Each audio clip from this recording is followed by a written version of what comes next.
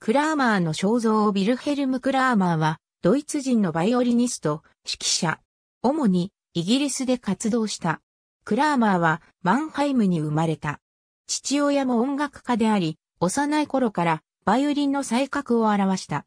ヨハン・シュターミッツ、ドメニコ・バスコーニ、クリスティアン・カンナビヒらに学んだ。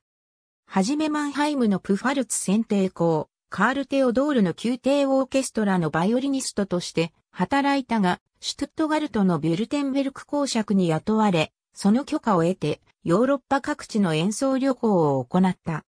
パリのコンセールスピリチュエルで演奏会を行った後、1772年にロンドン演奏旅行で成功したクラーマーは、ヨハン・クリスティアン・バッハの勧めによって、妻子を呼び寄せて、ロンドンに永住することにした。ロンドンでクラーマーはまず、バッハイコールアーベルコンサートで演奏を行い、1780年には過去の音楽を演奏する団体であるコンサーツ・オブ・エンシェント・ミュージックのリーダー、バッハ没後の1783年には、バッハイコールアーベルコンサートを引き継ぐ団体として、ハノーバースクエアルームズで始められた、プロフェッショナルコンサートのリーダーに就任した。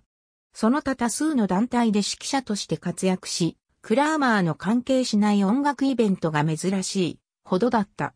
1777年に王立音楽家協会への入会が認められた。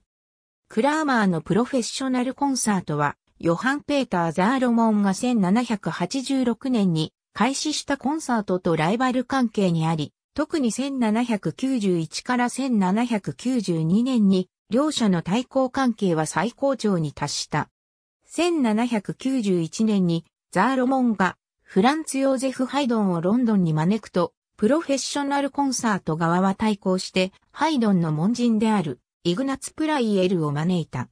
当時プライエルは競争交響曲の作曲家として評判が高く、ハイドンの競争交響曲はおそらくそれに対抗して作曲された。1799年にロンドンのメディルボーンで没した。